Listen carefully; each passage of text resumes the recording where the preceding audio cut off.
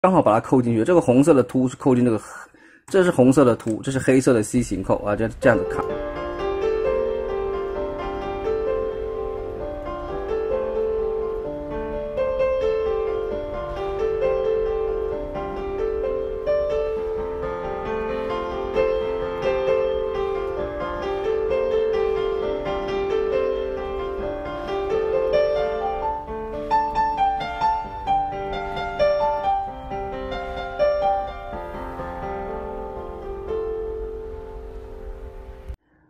欢迎各位再次收看虎扑汽车的变形金刚分享时间，这是我们一千两百五十六集的节目。今天大家再次把镜头回到官方已经哎，好像也不知不觉也做了应该有两年的 Stewart Series 工作室系列，来到了第六十四号的 Clip Jumper 飞过山或者叫做跳崖者。其实我觉得飞过山听起来比较霸气啊。那这是属于大黄蜂独立电影里头出现的那个版本。那曾几何时呢？这个家伙呢，本来从大黄蜂的一个头模改色。变成了一个红色的新的模具，但是自动领袖之证啊，在第一季的时候呢，一开场就挂掉之后啊，啊，不知道为什么呢，好像都变成了一个悲剧型的人物。你看这个，一看就是印堂发黑、短命香啊，非常非常帅的一个模具。其实这个载具呢，是让我呃比较心动的一个。那我为什么挑它第一个做呢？也是因为这个载具我非常的感兴趣。那特别呢，大家呢都知道说呢，它呢是跟之前的。这个吉普车大黄蜂呢，两者呢，呃，是一个非常非常接近的一个模具，但是为什么载具呢可以如此天壤之别？所以我对它非常的感到兴趣，所以说挑它呢，先来做一个开场好了。那它后面的这个背景的话呢，应该是大黄蜂独立电影里头，最终邦布比跟这个啊粉碎，还有这个呃那个蓝色那个家伙叫什么名字啊？反正就是粉碎跟啊跟这个反弹球啊。对决的那个场景嘛，应该是啊，那可是明明明明的话，这个家伙应该是只有在，应该是在月球上就被干掉了啊，就反正这个后面的这个背景跟他应该是没有什么关系的。那我们就来看到这款模具啊，是吧？首先的话呢，我个人对它的这个头部的这个部分啊，这个地方显然脖子这个地方是镂空的太多了啊。那这个毛病的话呢，从 Bumblebee 的时候呢就有，但是不知道为什么觉得这一款飞过山的一个问题好像更大啊。那再来一个就是这个背包的问题。非常非常非常两层啊，这个足足 Bumble Bumblebee 是这样子啊，它硬是多了一层啊。但是呢，这是可以理解啊，因为在整个变形的过程呢，邦莫比是一个就是吉普车，它车顶该是镂空的。但是这款的话呢，整个车顶是包覆起来，所以它等于硬生生就多了一块这么样的一个部件。那么其他的部分的话呢，啊，直截了当的说，它上半身的变形呢几乎是一样，那下半身呢有一些小改变。那 Bumblebee 的这一块部件呢是上下直接做一个直接做一个翻折，上下直接翻。但是呢，我们这一款的这个飞过山的话呢，它是有一个这里是有一个连接杆啊，是这样的转上去，然后推到后面去的。以惊喜感来说的话呢，其实啊这一款飞过山的惊喜感我觉得是比较大一些。那两者一样都是一个轮胎啊，从小腿内侧呢去翻到这个外侧来组合成这个轮胎啊，这个这个这个部分思路是一样，但是在这个细部的零件上还是有一些不同的。那以这个腿部来说呢，因为它这块部件是这样上下抽动过来啊，啊两边的腿都是一样，它的这个这个洞啊跟这个凸啊，我的感觉是扣起来不是非常的稳固啊。不是非常，基本上就是只能够靠近而已啊。你就算把它扣进去呢，啊，原则上它是很容易就滑出来了啊。然后这个地方的话呢，又没有一个辅助的一个结构可以去把它给扣紧，所以它这一代呢，几乎就是随时是保持一个松动的状态。其他的话就是这个，我以我手上这一款的话呢，是头部里头的这个球形关节啊，因为它头上的这个在变形的时候呢，它这个头呢是要往上面整个翻上去啊，但是它这个球关的开口在这儿。啊，支撑的那个力度比较不够啊，蛮容易头会从这个球关的这个地方去滑出来的。再来就是它这个面雕的银漆啊，我个人是觉得太过闪亮啊，你要啊，别忘了人家是印堂发黑的短命相啊，你把它涂了一脸银漆啊，这个可能就不是那么样的好看。再来是以人物的分色来说呢，Bumblebee 是比较好啊。这个地方大腿的腿甲有多了一个黄色之后啊，有一个内外的区分。这一款飞过山是整个是四肢的话呢，手臂呢跟大腿呢几乎都是黑色啊，感觉立体感就没有那么样的强烈了。那整体的玩具来说的话，我还是比较喜欢它的一个变形了啊。那玩具的尺寸缩水是比较厉害啊。我拿一个变形金刚，这是第四级的一个 deluxe 等级。然后的话，我今天的话呢，啊，特别把这个啊啊赛博坦陨落系列的这个 dress 也拿出来。那为什么拿它呢？因为待会呢，我会用它的载具跟它的载具去做一个简单的小对比。那你就可以看到这一款这个啊 jumper 呢，可以说是缩到非常的小了。那它的手炮的话呢，没有任何的机关，就是直接的是握在握在这个拳头内部，啊一团黑看的不是很清楚，我把它稍微转出来给各位看一下啊。就是直接这样子握握进去了，也并没有其他的一个做法。那按照说明书的话呢，它是这个以这个凸呢，啊是摆在朝后方啊，是可以这样把它给按进去啊。基本上是是勉强是能放，但是我觉得因为说明书只有一个往下指的一个箭头啊，这个其实还是会掉出来啊。我个人是觉得还是还是当成手炮好了啊。那它的一个本身的可动度的话呢，就给各位做个展示，它的一个。脖子的话，根部有一个左右旋转啊，一八零度的一个角度。然后球内部的话呢，也是一个球冠啊，不对，它根本就是个球冠。可它这个球冠能动的幅度几乎是没有啊，基本上是没有。然后这个头的话可以往上面抬起来，给刚刚给各位看过了。手臂的话呢可以平举，开口在下方。二头肌的话呢是在这里可以转动，整个手感是比较偏紧的。手轴的话呢，看上去有类似齿轮的一个结构，但其实并没有齿轮的一个咬合。拳头的话呢是没有办法转动的，直接跟小臂是一块的部件，啊，这个地方的红色的话呢，应该是在黑色部件上面去涂的，所以感觉比较漂亮一点。甚至它身上绝大部分的红色吧，啊，呃，像这一代跟这一代，这个也是透明部件上面去涂红漆的。所以感觉质感会比较好一些些。腿的话，往前往后侧踢都没有问题。那这个地方是一个球形关节啊，这个松紧度未来是比较堪忧啊。膝盖的话呢，最大约九十度。脚的话呢，往前往后，而且它这个脚的话是往前是在这里啊，并不是正常，应该是比较偏后一点，它是比较偏前面一些些。这里有块盖板啊，记得把它给盖起来啊，去填补这个缺口。脚底板做的看似挺大，但其实后面这里有个缺口，所以人物的站立性来讲呢，可能。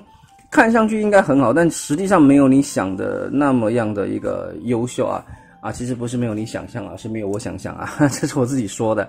那因为背包又比较大的关系啊，站立性稍稍有一点点的一个堪忧啊。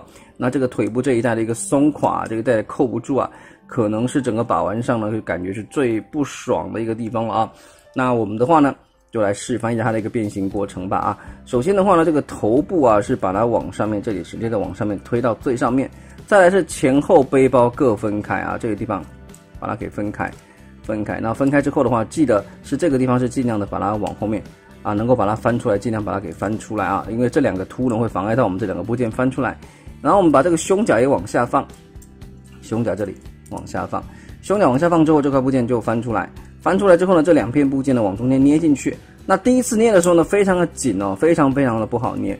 再来这个时候的话呢，把这两个部件翻下来，腾出这个空间，再来就可以把头部呢给往后给翻进去了啊，往后翻进去。两只胳膊的话呢，往下翻下来，这个部件往上面放。然后你可以看到这个地方啊，这个地方稍微的挨一下就可以了。以及呢，手部的话呢，转到内侧来，你看到了这里有一块凸啊，这一块凸就是要扣进这里，有个洞。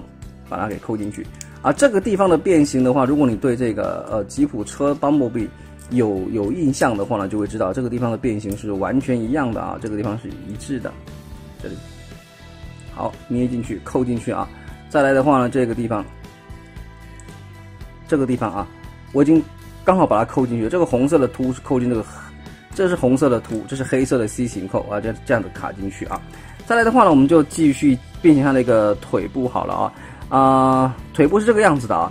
首先的话呢，把这一块部件，说明书是说要把先把它推出来，可是我觉得是应该是不是很必要了，因为你这个往前推就自动会推到一个定位了啊。简单说就把这个脚这样推，然后脚推的时候是把它往前面前面推过来啊，往前面推出来。好，接下来我们做一个动作，把这块部件呢旋转，透过这个连接杆旋转到后方去。啊，待会的话就从这个地方做一个结合。现在现现在先不急着扣，没关系，先推到后面去。再来把这个轮胎的话，整个的给翻出去之后呢，利用黑色的这个部件，直接的整个的跨到外侧来。然后这个地方呢，可以先扣了啊，这里有一个红色的凸，对，下面有一个红色的凹。然后的话就把它给稍微的去扣扣起来。这个地方可以先扣，可以先扣到这。这个地方呢，整个的话呢，可以先扣起来了。这一侧。就算 OK 了啊，变形其实是还蛮流畅的啊，就是把这块部件推到后面来，然后再把轮胎呢整个的推上去之后呢，再把它，其实你也可以黑色的轮胎先出来，后面红色的部件在一起出来，其实也是可以的。那简单的说就是呢，把这个轮胎呢从小腿的内侧呢给变到外侧来，然后呢这个地方呢就有一个结合的卡扣在这，把它给扣上去到这里，然后前方的话呢再把它扣起来。OK，这样一来车子的整个骨架呢就算 OK 了啊。